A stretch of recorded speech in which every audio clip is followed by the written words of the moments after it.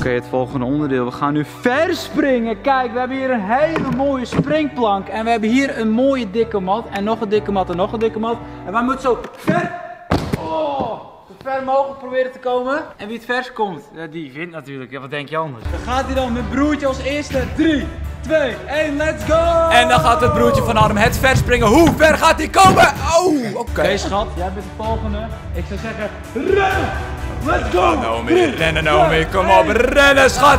Daar gaat ze dan. En ze springt. Oh, zo, dat was behoorlijk ver. Ik weet niet of dat overtroffen kan worden. Het is tijd voor de volgende. Jeroen, Jeroen heeft al veel gewonnen vandaag. En wat is dat? Wat doe je nou? Oké, Nee, ik wil nog een keer. dan gaat hij nog een keer, dan gaat hij nog een keer. En hij, oké, dat was nog erger dan de vorige. Ik probeer op die plank te springen. Oké, dan gaat hij dan zijn derde poging alweer. En Jeroen, oké, hou maar op. Het is genoeg.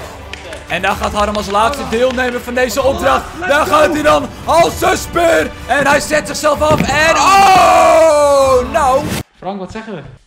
Ik denk Naomi, Wel? Naomi en Harm een beetje. Oké, je moet het zien in de edit. Ik weet het niet. We gaan het zien. Wie heeft dit gewonnen? Zo te zien het broertje van Harm niet. Eh, Jeroen absoluut ook niet. Nou, Naomi. Naomi heeft gewonnen. Ja hoor. Harm die landde vol op zijn reet. En dat was ontzettend dom. Want zo is Naomi verder gekomen.